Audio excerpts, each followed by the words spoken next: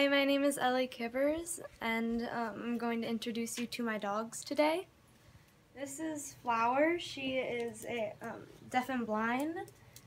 She is two years old, and What do we call her? we call her the baby because she's the youngest of all of our dogs.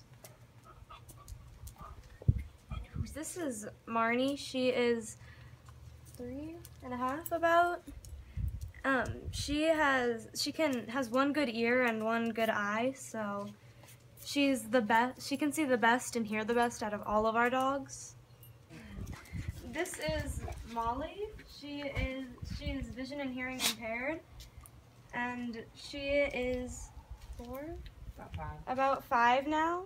Flower has a really great sense of smell, much better than you know normal dogs, and they they're really active. So I don't really think you could tell that they're like vision and hearing impaired.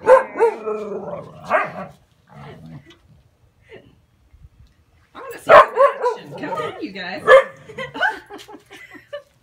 This is Leia. She is deaf and blind, like a doorknob, and she has an adorable, adorable mohawk.